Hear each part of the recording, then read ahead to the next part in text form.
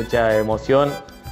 Eh, he sentido el abrazo maternal de María y, siento eh, que se vive este lema que, tanto hemos eh, mencionado este año, ¿no? que María nos visita y nos abraza. ¿no?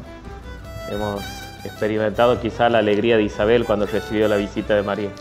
Sí, agradecer la vida, la vida de los jóvenes que vienen por el hogar, de la vida de, la parroquia, que cada vez se hace más grande, más este, de, de abrazos que, que abrazan más la comunidad entera, ¿no? no a unos pocos, sino a todos, como María Jesús.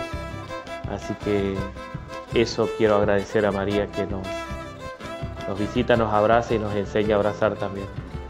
Hoy me sorprendió maravillosamente que un, laico de, de, la parroquia me se acerca y me dice, padre, me, me, parece que deberíamos cambiar el recorrido de la procesión, de la, de la caravana de la Virgen, porque estaba planificado ir por el centro y dice vayamos por los barrios populares, porque a la Virgen le va a gustar más. Y le gustó más a la Virgen, le gustó más al pueblo, nos gustó más a nosotros, hasta las lágrimas, ¿no? la emoción de, de ver que salían niños en silla de rueda, abuelos, a, saludar a la Virgen, a querer tocarla, a recibir su bendición.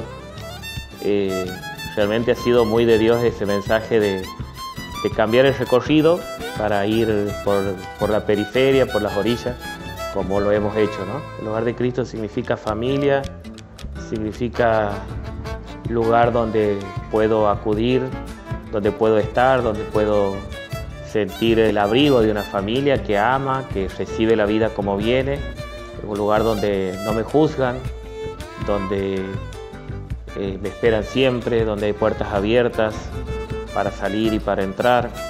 Y el hogar de Cristo es familia, es familia y es familia grande, familia que, que abraza. ¿no?